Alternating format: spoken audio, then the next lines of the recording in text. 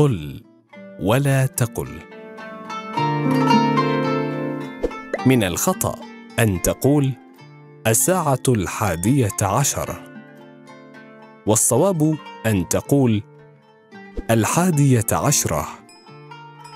والسبب في ذلك أن العدد يطابق المعدود من حيث التذكير والتأنيث في اسم الفاعل.